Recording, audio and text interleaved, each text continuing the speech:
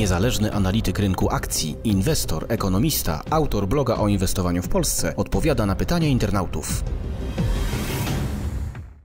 Witam serdecznie, Albert Longterm Rokicki w nietypowej scenerii, tutaj razem z Niedźwiadkiem.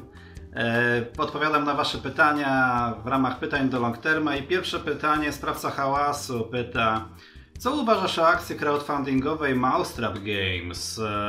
E, jak oceniasz, opłaca się zainwestować w jakiś większy pakiet? E, no to od razu odpowiadam. Crowdfunding nie polecam. Mm, trzeba bardzo uważać, jeżeli nie znasz zarządu, nie znasz e, ludzi stojących za, za tą firmą, to myślę, że ostatnią rzeczą, którą można zrobić mm, racjonalnie, to jest poprzez crowdfunding właśnie wspierać te firmy.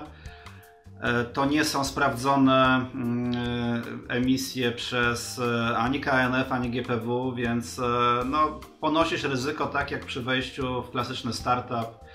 Mm, z tymi spółkami gamingowymi trzeba również uważać, pomimo dobrej koniunktury dla nich, to jednak są to właśnie startupy. Jeżeli nie zrobiły gier, nie miały dobrze ocenionych tych gier, to trzeba bardzo uważać wciąż.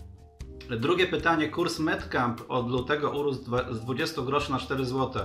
Co o tym uważasz? Warto się tym...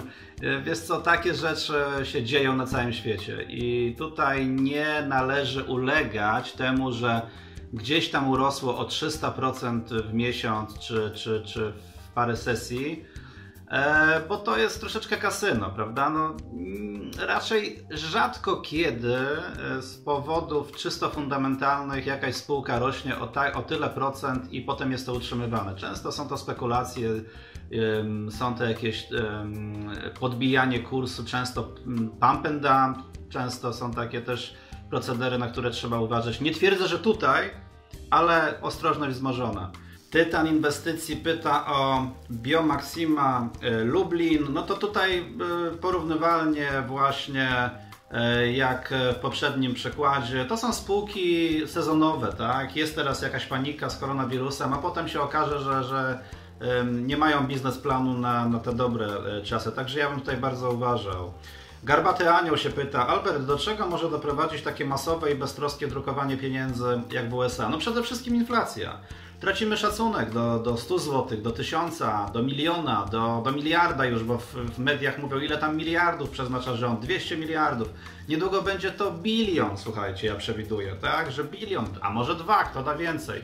Jakby y, kasa przestanie mieć jakąkolwiek wartość, ale pamiętajmy, że w takich momentach właśnie giełda jest dobrym zabezpieczeniem przed inflacją. Ona chroni nasze pieniądze, nawet w Republice Weimarskiej, przynajmniej w tych początkowych e, okresach e, hiperinflacji, czy tej, no, zanim się wymknęła pod, spod kontroli, czyli tej podwyższonej inflacji, to giełda dawała zarobić. W Argentynie Merwal, zobaczcie jak pięknie rośnie, czy w Rosji Micex wyrażany w walucie lokalnej, czyli w rublu.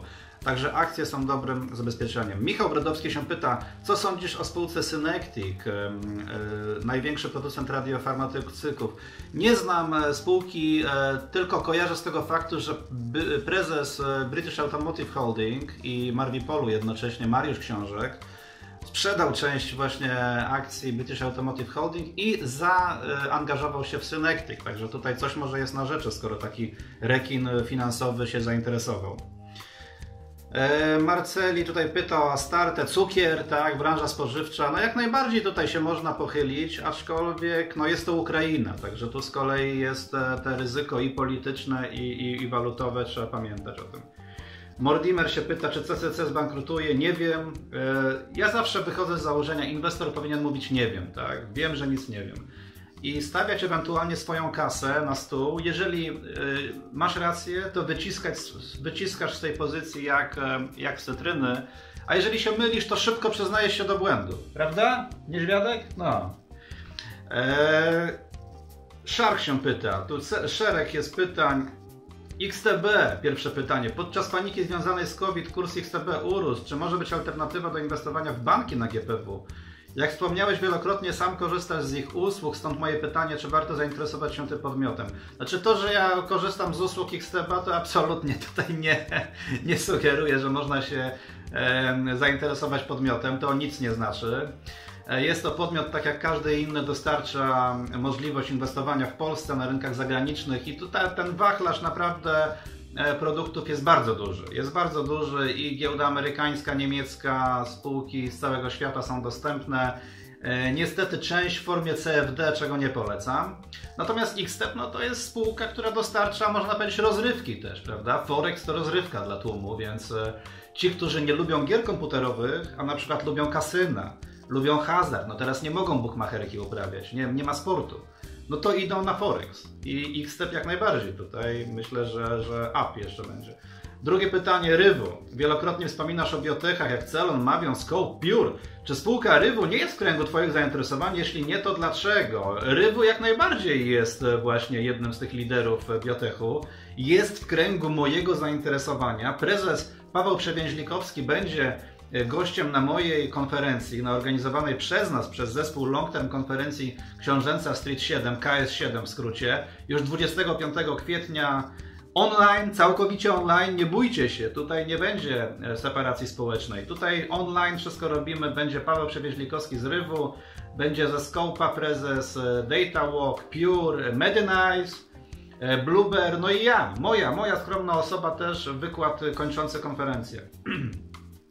Tutaj PG Software, LSC Soft, no tu nie znam się. PG Software to jest software house, on robi na, na zlecenie, więc to nie jest moja para kaloszy. Ja lubię jak spółka robi swój produkt, tak, tak jak Brand24, jak LiveChat, jak CD Projekt, jak reszta spółek gamingowych, które nie robi dla kogoś towaru, tylko robi na, na własne e, potrzeby. Także jak najbardziej.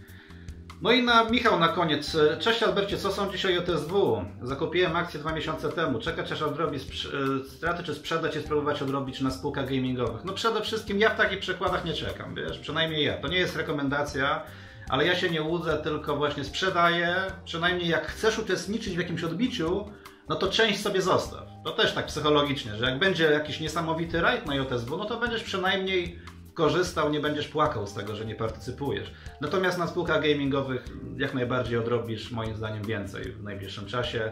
Tym optymistycznym akcentem chciałbym się pożegnać z inwestorskim pozdrowieniem Albert Long Term Rokicki.